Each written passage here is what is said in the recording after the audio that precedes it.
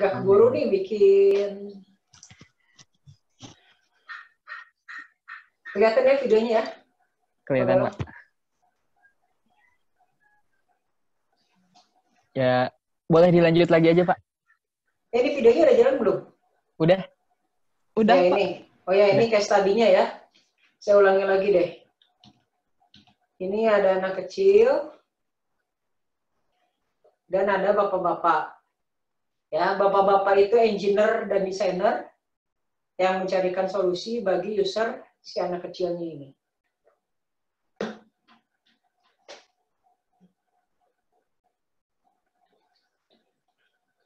Oke ya. Ada yang mau didiskusikan dulu terkait videonya, kasusnya? Lanjut dulu. Eh, masalahnya apa ya? Mangga Pak Hos pertanyaan saya. Oh, tadi siapa tuh yang mau bilang tuh? Saya, saya, saya jawab, Pak. Oh, boleh jawab, boleh dilemparkan lagi, boleh Pak. Bebas. Eh, Oh, saya ganti posisi. Ya. Kayaknya sih- apa ya? kayaknya sih masalahnya itu eh, ada di desain si pagernya yang nggak memperhatikan itu aspek eh, apa ya ukuran kepala manusia. Oke, desain pagar ya. Hmm. Oke, ada yang mau berpendapat lagi? Eh, yang lain?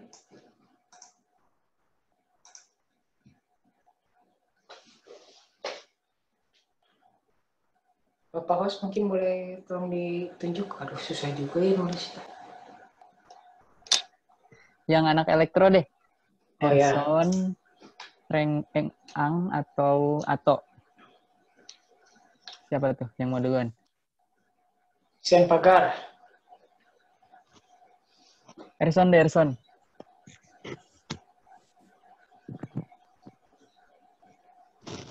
Halo, halo. Ya, Halo, halo, halo. Udah kedengeran belum? udah ada. Ada, ada.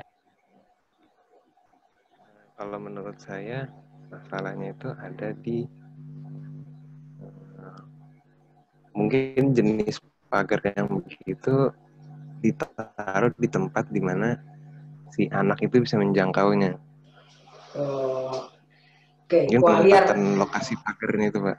Iya, iya, iya, oke, oke. Liar juga ya. Ini fokusnya jadi posisi pagar, eh, ke pagar ya. Oke. Eh, Oke. Makasih, Erson. Eh, atau coba atau atau Eng. Ini ya, saya coba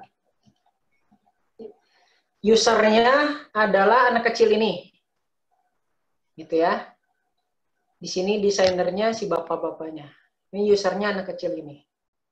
Ya, jadi posisikan kalian sebagai usernya, anak kecilnya.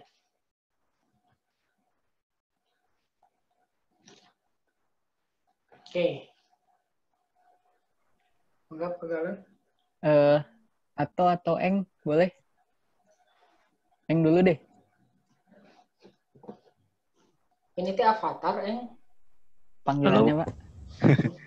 Iya, Pak. Ya, Eh, kalau menurut saya, Pak ya, kalau saya sebagai anak kecilnya, eh, masalah yang saya dapatkan kan saya kepala saya nyangkut di pagarnya, ya, jadi saya nggak bisa keluar. iya. Oke. Nah itu eh, kita mencari solusi buat kepala saya tuh bisa keluar gitu. Oke. Eh, kalau jadi kondisi idealnya adalah Eh, bis- kepala saya bisa keluar. kepala keluar ya. Iya. Kondisi assistingnya,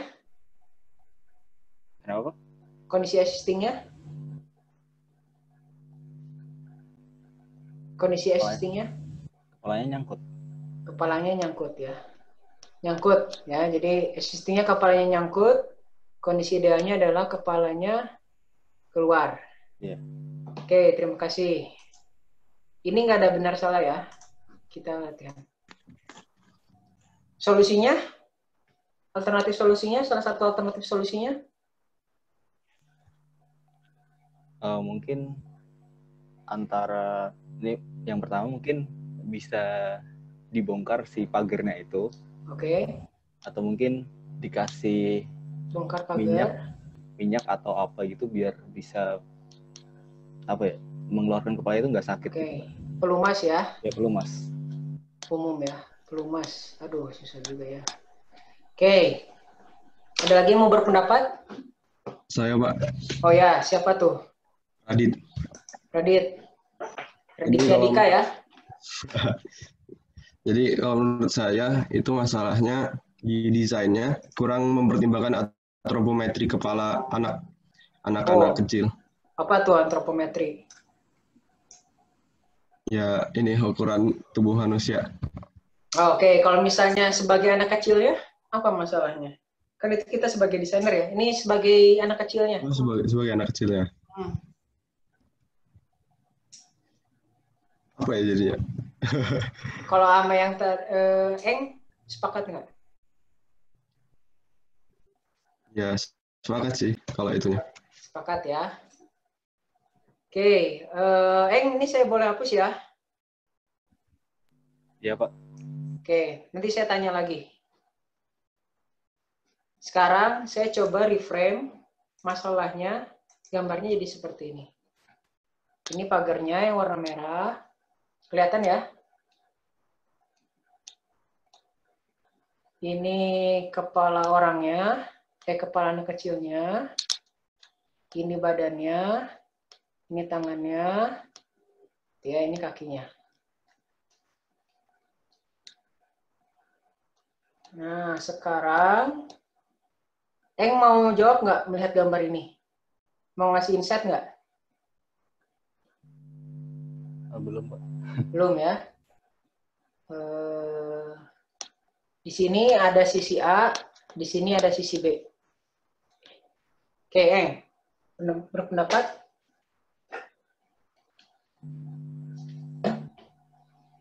Eh, belum sih pak belum belum ada. Belum ya. Rengga, Rengga. Eh, Rengga, ke Eng ya. Tadi siapa Radit? Radit?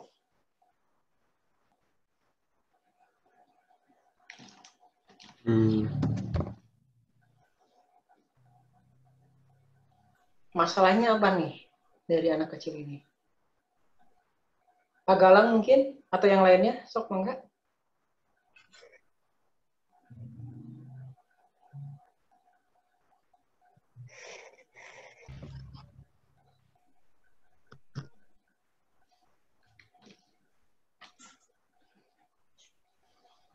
Masalahnya ya Pak ya.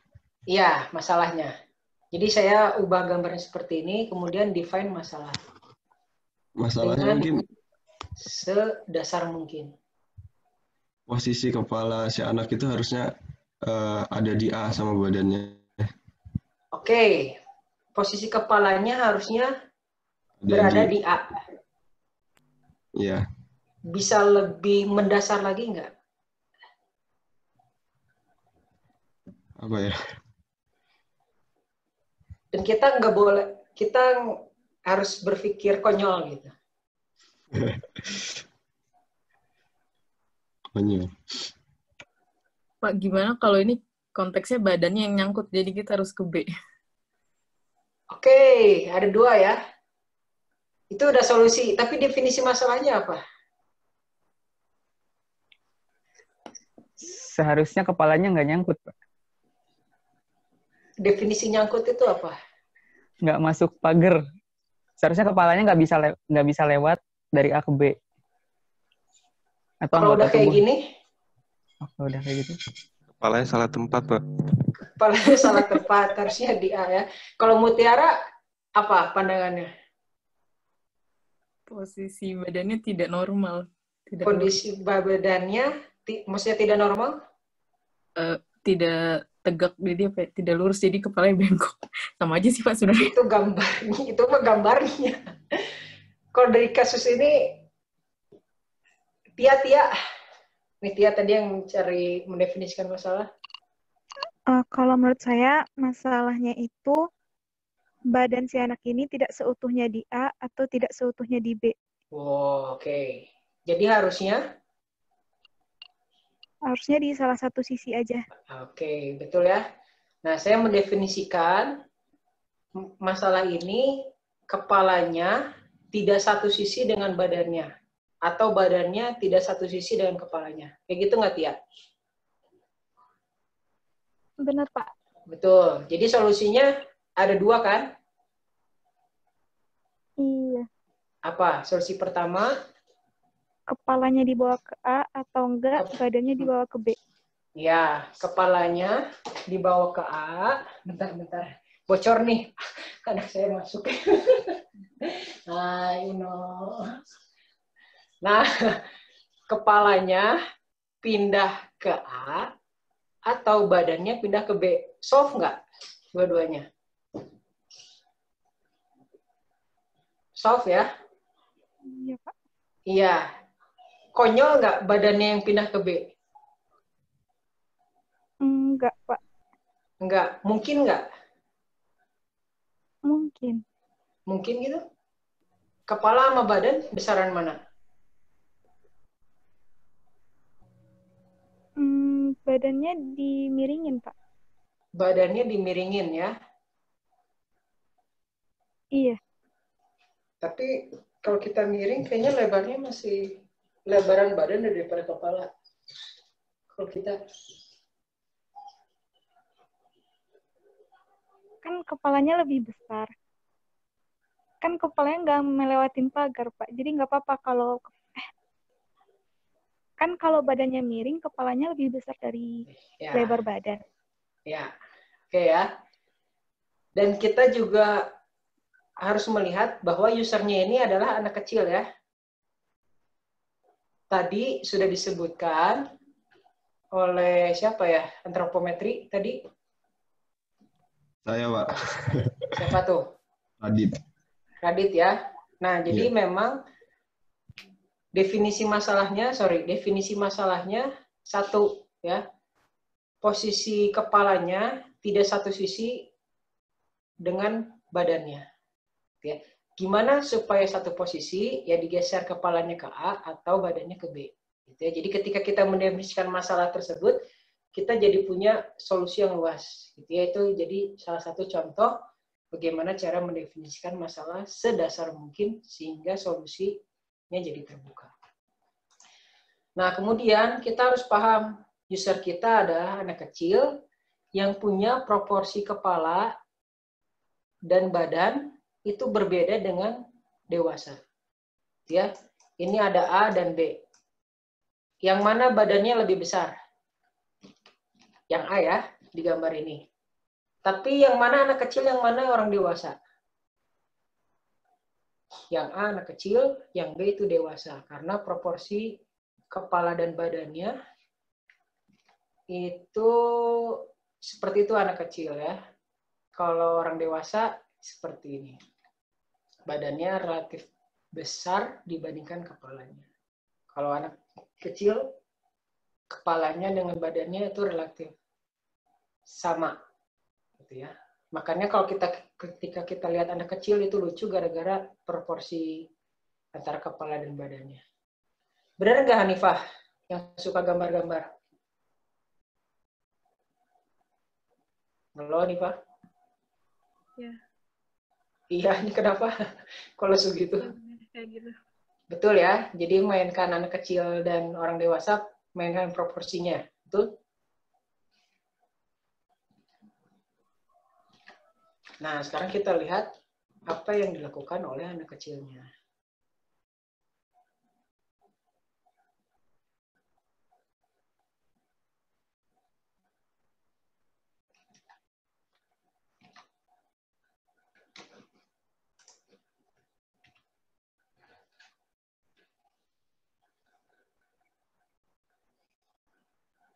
Yeay, itu ya. Jadi eh, ya begitulah gitu ya. Jadi bagaimana mendefinisikan masalah secara basic sehingga bisa dapat solusi out of the box. Kemudian satu sisi juga kita harus pahami usernya itu kondisinya seperti apa. secara fisik, secara mental dan sebagainya. Sehingga kita mendapatkan solusi yang ortopedik. Kalau saya nyangkut di situ, saya nggak akan bisa tembusin badan kayaknya ya.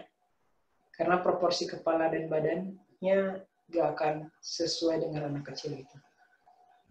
Oke, begitu Pak Galang. Sebelum Iya Pak. Wildan. Mantap.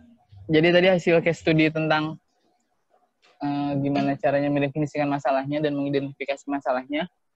Terus ada solusi juga yang apa ya yang ternyata eh, berpikir konyol itu tidak sepenuhnya salah. Bisa jadi dari ide-ide tersebut tuh muncul suatu solusi yang paling fit gitu ya sama masalahnya. Kayak gitu. Ya. Eh, dari teman-teman ada lagi yang mau didiskusiin nggak sebelum closing?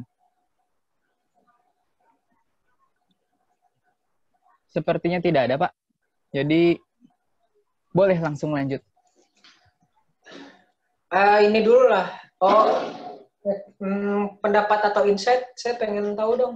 Soalnya saya bisa banyak belajar banyak juga dari insight. Di absen aja kali ya? Iya, boleh lah. Eh, dari bawah deh. Yang tadi nanya boleh dapat Atau yang belum? untuk skip. Yang belum ini deh, yang belum berkontribusi. Yang KP Dari ya. yang KP ya. Heeh. Tadi yang masih diem-diem. Atau coba atau insight-nya kira-kira apa toh?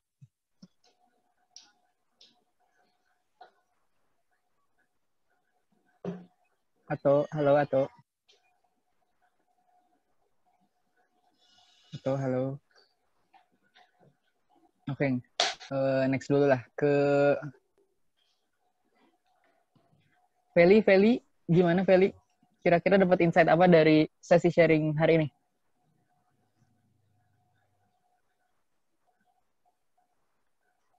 Ada diem ya orang-orang. Hmm. Nggak ditanda tangan loh surat KP-nya. Parah banget. Ya udah, Reka deh, Reka. Insight apa, Rek? Kak. Atau pendapat Nah. lah. Oke. Eh, tadi sebenarnya pas yang case tadi itu sih meskipun tadi Pak Wildan udah nggambarin yang eh, sisi A sama sisi B, saya masih berpikir kalau kepalanya harus ada di A, nggak kepikiran kalau badannya bisa ada di B gitu. Hmm. Oke, jadi benar ya problem definition itu menentukan ya Iya. solusi ya. Ya. Oke, terima kasih. Terima kasih, Reka. Eh, yang lain ya. Coba lagi deh. Atau, atau gimana, atau? Halo, halo. Nah, mantap. Dapat Oh iya, dapat insight apa nih kira-kira Dari dari tadi ya. sesi ya dari sesi sharing hari ini? Eh, mungkin ini sih. Eh, apa ya? Kalau misalnya solusi itu bisa benar-benar out of the box tanpa eh di luar dari apa yang kita pikirin gitu.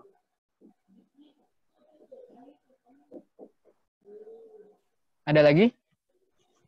Eh, ya tadi kan kayak misalnya harusnya eh, kalau secara logika kan kepala bisa lebih mudah dipindahkan maksudnya ke posisi A. Ternyata Iya ya. Intuisi Ternyata kita lebih- bilang seperti itu gitu ya. iya ternyata kecenderungan awalnya. lebih mudah untuk mindahin badannya karena beranak kecil lebih kecil kayak gitu. Iya. Betul. Oke, oke. Oke, atau makasih atau tadi siapa yang belum muncul? Feli ya? Feli gimana?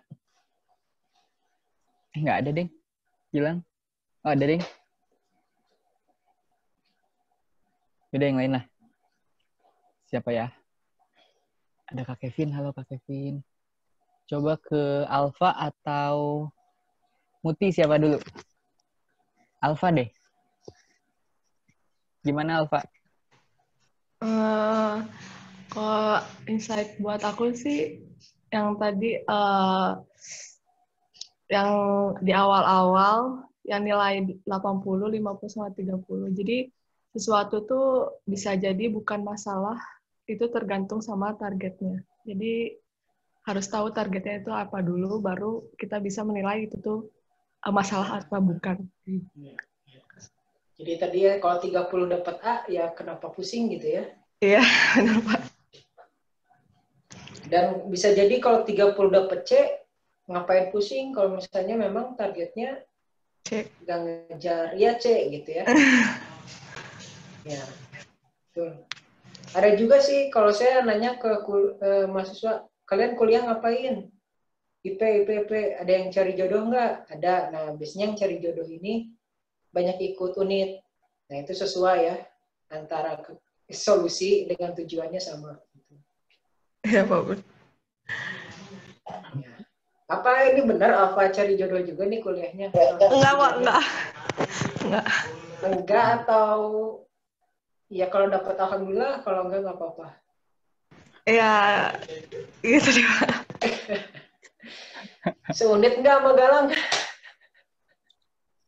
Saya, Beda saya ya? sama, sama, Naf- sama Nafi Pak Sunit. Oh iya, masih Nafi juga nih kayaknya nih.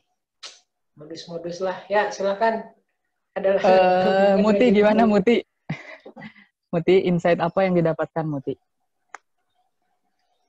Ini udah nggak pakai Apple iPad lagi ya? Namanya kak. Oh iya. Sama itu sih yang sebenarnya lebih tertarik yang ke study case tadi sih soalnya bisa langsung apa sih ngaplikasiin ketiga hal yang tadi dibahas sama Pak Wildan. Terus tadi emang eh, ternyata emang solusi yang anak kecil buat ternyata pindah ke B yang kayak saya kaget juga oh ternyata eh, perspektif saya bisa sama sama kayak anak kecil itu gitu. Wis, sama ya. Itu sih Pak. Iya, iya. Oke. Oke, makasih Mut. Sama-sama Kak. Hmm, ini mau semuanya Pak? Atau dicukupkan? Cukupan aja kali ya waktunya ya. Oke. Nanti recordingnya juga. Hmm. Kita potong beberapa sesi nanti. Oke. Eh, ya udah dicukupin aja buat sesi berpendapatnya nih. Sekarang mungkin ada closing dari Pak Wildan. Ya Mangga, mungkin eh, terima kasih ya atas sharing dan insight-nya. Jadi saya mendapatkan feedback juga, dapat pembelajaran juga. Mungkin beberapa poin. Jadi balik lagi masalah adalah jarak antara idealita dan realita. Gitu ya. Jadi harus ada target dan kondisi existing. Dan kemudian tadi kita harus mendefinisikan masalah secara mendasar. Tujuannya adalah agar terbuka banyak pilihan pada saat melakukan divergent thinking. Dan yang ketiga adalah pertimbangkan pengguna dan kondisinya.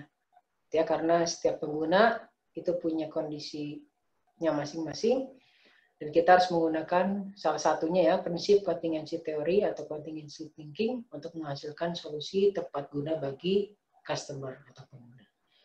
Mungkin sekian saja. Terima kasih buat yang sudah hadir gitu ya. Dan kemudian terima kasih juga bagi Idea Lab dan KKSM ITB karena sudah mensupport kegiatan ini. Terima kasih dari saya. Wassalamualaikum warahmatullahi wabarakatuh. Waalaikumsalam. Assalamualaikum warahmatullahi wabarakatuh. Waalaikumsalam.